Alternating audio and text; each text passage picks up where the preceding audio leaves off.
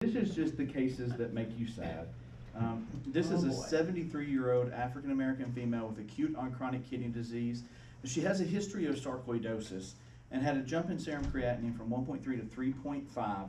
Um, has two point one gram per gram proteinuria, hypertension, and diabetes. And I've got a little bit more history that I'll save.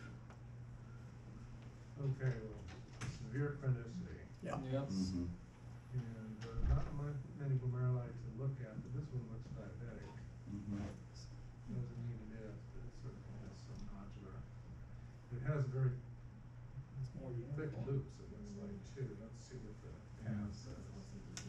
Yeah, it's very uniform. It has a little segmental sclerosis down there on the edge, Yeah, but that's here. all seg, nothing, doesn't mean You anything. can't hide nothing Here from the people in this mesangial- conference. Yep. Has sort of a smudgy quality to it, Mhm. And chunky, chunky crackable. quality. Yeah. Jolly Rancher. So we're thinking. uh, Jolly let's Ranchers. Let's look at the silver. You know, pathologists in our food references were horrible. Yeah. We're just horrible. That's all we did. Sometimes it's not. And then they go buy them and eat them. Yeah. SMMT. Yeah, it's like a C three or something. That's a beautiful Chris lesion right there. Yeah, I didn't do anything with the epithelial proliferation of Bowman space, I don't think. don't it- either. I think the IF is going to be our guy. I hope Yes. the IF is gonna help us here, Yes. because right now it's all chronic to me and I can be guessing at stuff. So, and that's exactly, the piece of history I've been leaving out, she did have a kappa lambda ratio of five to one. So this is C three, then we have kappa, Oh. Here it comes. lambda. Oh, bingo.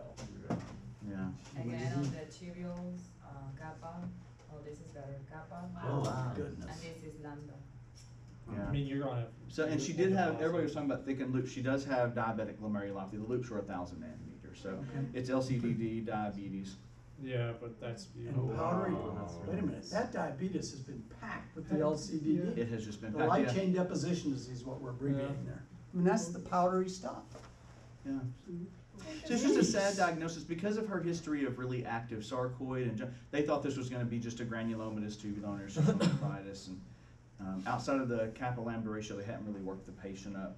You mentioned a sudden increase in creatinine. This doesn't look like something that would have been sudden to Yeah. me. So was it a sudden increase or a sudden finding of? of- Well, it Yeah. may be a sudden finding. I was told that it was an acute increase, but this is a patient that they've managed for more than five years, so I'm assuming she's probably coming in for diabetes and sarcoid every six months or every quarter, so.